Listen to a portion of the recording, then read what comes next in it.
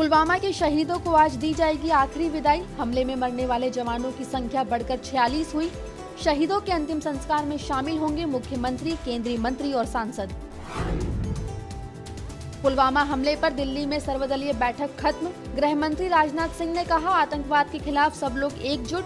गुलाम नबी आज़ाद बोले, आतंकवाद के खात्मे को लेकर कांग्रेस का सरकार को पूरा समर्थन। पुलवामा हमले के खिलाफ जम्मू में बंद के दौरान हिंसा और आगजनी के बाद कर्फ्यू लगाया गया। डीआईजी समेत 40 जख्मी हमले की जगह दोबारा पहुँची। एनआईए की टीम सात संदिग्धों को हिरासत में लिया। पाकिस्तान से लौटे भारत के उच्चायुक्त अजय बिसारिया विदेश मंत्रालय पहुँचे। अधिकारियों के साथ बैठक शुरू। पाकिस्तान ने भारत के डिप्टी हाई कमिश्नर को तलब किया। महाराष्ट्र के यवतमाल में प्रधानमंत्री नरेंद्र मोदी ने कहा, आतंक के सरपरस्तों को सजा ज़रूर मिलेगी, शहीदों का बलिदान बेकार नहीं जाएगा। लॉन्च के अगले ही दिन वंदे भारत एक्सप्रेस में खराबी आई। दिल्ली आते समय तकनीकी खराबी के चलते टुंडला में ट्रेन रुकी। ट्रेन में सवार लोगों को दो ट्रेनों से दिल्ली भेजा गया।